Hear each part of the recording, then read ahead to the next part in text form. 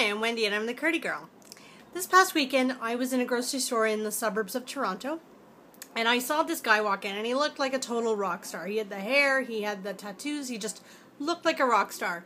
And he was nice and friendly and he bypassed all the, the cheeses I thought he would go for, but he went right to uh, the Crotonese Calabria which is uh, Crotonese is uh, it's a sheep milk cheese. It's firm. It's from the southern portion of Italy, uh, in a place called um, Calabria. Um, and this cheese is actually, it's Crotonese Calab Calabrese. That's what it's called. So in other times I've seen it, it's been called spiced Crotonese for good reason. So let me just show you what this cheese looks like. So it's a pecorino, so it's um, sheep milk, it's firm. You can see the fun little basket weave portions of it. And it's been bathed in hot peppers, hot chili peppers. It's a beautiful smelling cheese. It smells like nice, um, I don't know, like Swedish kind of, not Swedish, like the country, sweet-ish um, sheep milk. And I have been noshing on this stuff since I got it home. It is good.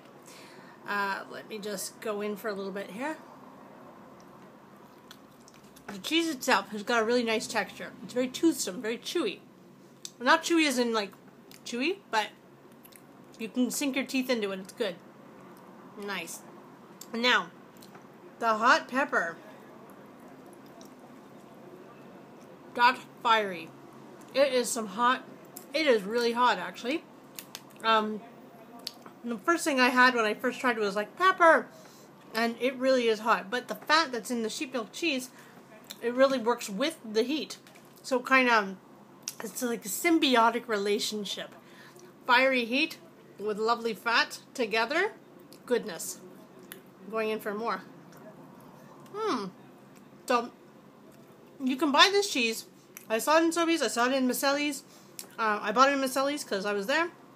And it is it's an addictive cheese. I've been eating it, like I can't stop eating it, so I understand why the Mr. Rockstar came in and bought the four pound wheel. It was crazy. But very nice. A lot of fun to eat. Um, and if you're looking for some spicy heat, I'd say give this one a try.